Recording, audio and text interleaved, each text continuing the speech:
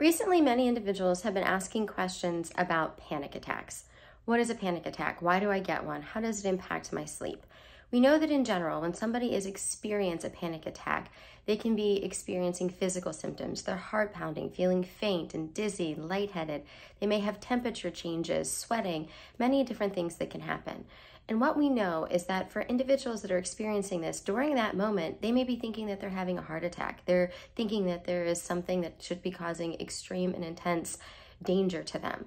What's actually typically happening is that our brains are misinterpreting physical symptoms that we're experiencing.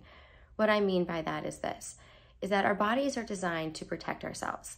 We have that fight or flight response that when there is a physical threat, or some type of threat that could happen to us, our body physically responds to protect itself.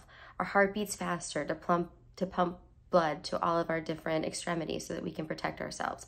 We start breathing faster to bring in more oxygen. Our muscles tense up so that we can prepare to protect ourselves or to be able to flee. That's why it's fight or flight.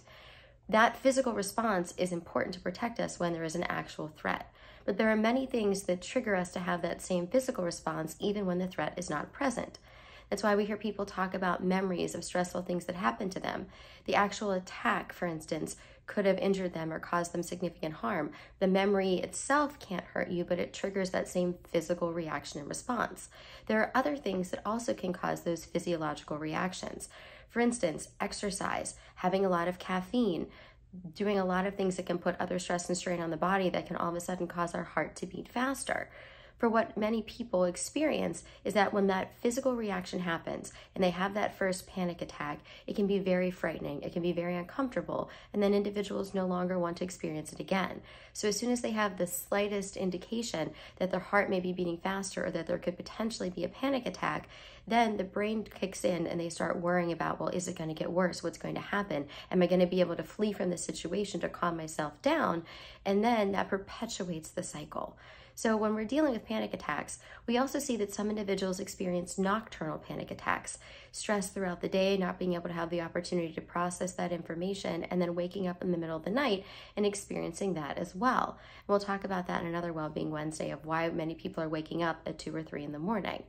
So, for many individuals to be able to do progressive muscle relaxation, we've talked about that before, to be able to relax the body before going to bed. When you're in an active panic attack during the day, doing things such as slowly breathing. Now, it may feel very difficult to do so in the moment. So, even just taking a deep breath and holding it for a moment, that helps to stop that habit of quickly breathing in and out, to start to slow the breathing rate down, to help the heart to be able to relax itself, and for our minds to be able to be focused and thinking as best we can on that reminder that this is something that will quickly pass. For most individuals, a panic attack will peak about 10 minutes and then will start to decrease again. Now we know that afterwards you may feel incredibly exhausted. That's why some people will find that they actually fall asleep after experiencing a panic attack instead of the opposite of feeling that they're keeping awake and amped up.